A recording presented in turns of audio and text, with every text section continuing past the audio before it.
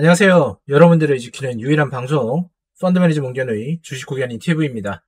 어, 전일자의 상한가가 6종목이 나왔는데 무려 5종목이나 시력지도에 있는 종목들이에요. 그래서 이러한 변동성에는 분명히 무언가의 주체들이 있을 거라고 생각이 되고 그 주체들이 세력지도를 움직이고 있는 주체들이 아닌가라는 생각이 듭니다. 그래서 여러분들 지금 시리즈물로 나갈 건데 이 종목들에 대해서 여러분들이 주의 깊게 보셔야 될 거라고 생각이 되네요.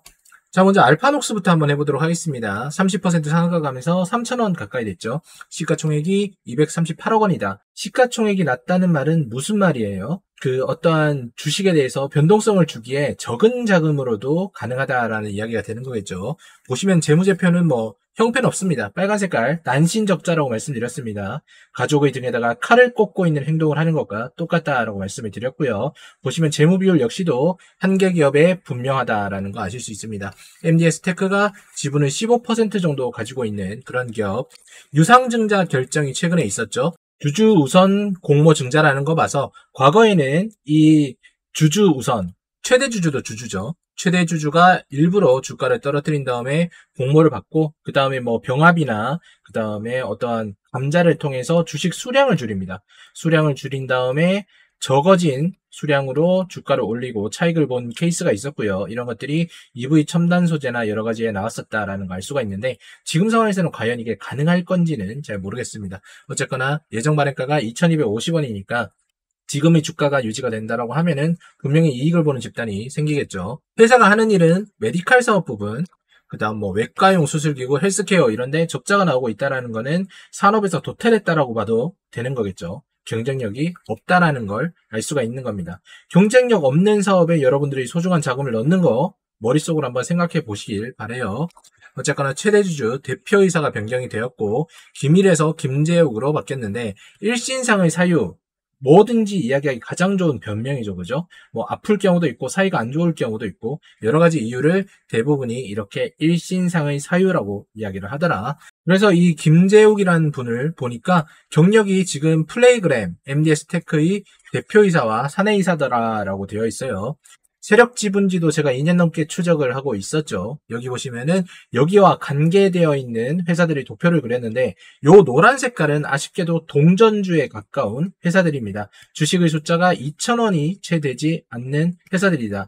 지금 여기서 투자조합을 제외하고 상장회사가 11개 정도가 있는데 무려 9개가 2,000원이 되지 않는 동전주라는 거 꼭 명심해 두시고요. 그나마 11개 중에서 2개는 이미 거래 정지가 되어 있는 상황이다라는 거 아실 수가 있습니다. 세부 변동 내역 보시면은 얘들은 500원에 전환사채를 인수해서 회사에 들어왔어요. 그럼 지금 그냥 판다라고 가정을 하면 6배의 차익을 볼 수 있는 그런 상황이 되는 거죠. 그리고 이 회사가 지금 가지고 있는 미상환 전환사채의 금액은 79억 정도다. 전환 가능 주식수 보이시죠? 1580만 주입니다. 이게 시장에 풀리게 된다면 주주들의 피해는 눈덩이처럼 클 거라는 거 아실 수가 있겠죠. 사내이사 들어온 사람들 보시면은 이 김재홍이란 분은 비덴트에도 연관이 있네요. 그죠? 아까 위에서 보셨을지 모르겠지만 티사이언티픽이 비덴트와도 연관이 있는 회사다. 그래서 제가 6개 중에 5개가 세력 지도에 있다라는 거는 곧 어떠한 이벤트가 크게 벌어질 가능성이 있다라고 봐도 이상하지 않다라는 거죠. 그걸 긍정적으로 생각을 하신다라면 여러분들 주식 투자 한번 제대로 생각해 보시는 게 좋을 것 같다라고 말씀드리고 싶습니다. 빗썸 코리아, 빗썸 홀딩스 여기 초록뱀이 엮여 있었다는 내용은 여러분들이 잘 알고 계실 겁니다. 비덴트 여기 아래 보시면 그죠? 티사이언티픽이 비덴트와 직접적인 연관관계가 있고 그 외의 여러 가지 종목들 아까 요것들 말씀드렸죠. 파란 색깔들은 거래 정지가 되어 있다. 카나리오 바이오엠 다 들어보셨을 거고요. 이화전기, 뭐 휴센텍, 테라사이언스 그 추정 60분 제가 자문을 했던 곳 그런 것도 나와 있는 상황이다. 여러분 이걸 보시고도 사신다면 뭐 할 수가 없네요. 그죠? 그리고 여기도 아래에 또 보시면 비덴트 초록뱀과 인트로메딕 이것도 희대의 종목이었죠. 여기에 다 엮여 있는 종목들 보시면은 여러분들이 기절초풍할 것이다 라는 거 다시 한번 말씀드릴 수 있습니다. 헌터 미구 요거는 초전도체 테마도 탔죠. 여기도 초전도체 테마 탔고 이 안에 지금 녹아 있는 게 뭐 가상화폐, 초전도체, 그 다음에 여기 있는 리튬 등등에서 그냥 개인 투자자들이 알 수 없기 때문에 이렇게 당하는 겁니다. 만약에 알고 있다라고 하면은 여러분들은 상당히 잘못된 투자를 하고 있다는 거 기억을 해두시고요. 여기 보시면 알파녹스로 사명을 변경한 이유는 회사의 이미지 쇄신과 경영 전략 제고를 위해서 추진했다라고 이야기하는데 제가 한계 기업들이 특징이라고 말씀드렸죠. 사명 변경 이후에 주가의 변동성을 주고 그 차익을 보고 이탈하는 누군가가 있더라. 근데 그 기업들을 움직이고 있는 세력들이 모여보니까 500개가 넘는 기업에 있더라라는 거 제 영상에서 모두 확인하실 수 있을 겁니다. 차트 잠깐 보도록 할게요.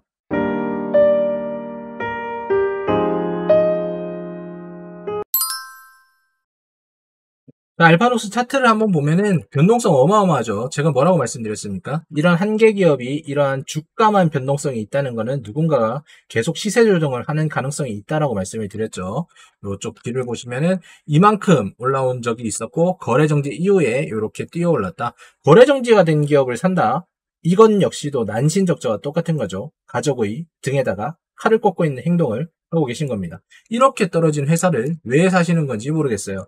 투자를 하신다고요? 차라리 강원랜드 가시기 바랍니다. 뒤로 돌려보시면은 더 어마어마한 변동성이죠. 그죠? 여기 최고가가 26만 4,950원이었던 이 기업 24년 만에 2,999원으로 떨어졌다. 대략적으로 한 0.01% 정도의 가격대로 떨어졌다는 거 아실 수가 있고 여기서 가지고 있었다면 99.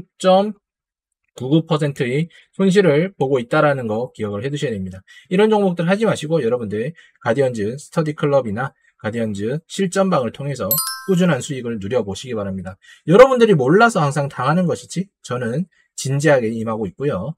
저를 만나시는 분들이 미래는 분명히 밝게 바뀐다는 거 많은 분들이 함께 하시면서 증명해 나가고 있습니다. 여기 위에 있는 배너를 보시고 연락 한번 주시면 됩니다. 문자로 안내드리고 영업 절대 하지 않으니까요. 여러분들이 많은 문의 부탁드리겠습니다.